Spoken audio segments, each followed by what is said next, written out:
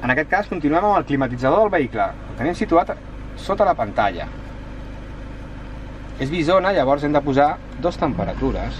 En aquest cas posarem 22 graus o 21 i mig, 21 sempre al vostre gust, com estigueu més còmodes, i com veieu per defecte s'activa l'auto. D'aquesta manera el vehicle sol de forma automàtica es posarà a 21 graus. Tenim present que tenim tres autos, el normal, el ràpid o el suau.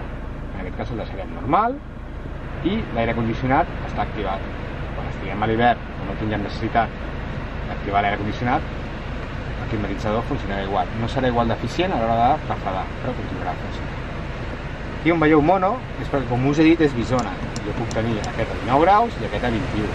En el moment en què dono l'opció de mono, qui mana sempre serà aquest. Presentarà el vídeo de davant i presentarà el vídeo de darrere. Posicions i velocitat. En el moment que optem per donar una posició o velocitats, el que passarà és que l'automàtic es desactivarà perquè li hem donat unes ordres. La meva recomanació, automàtic, i el sol ja es posarà la temperatura desitjada.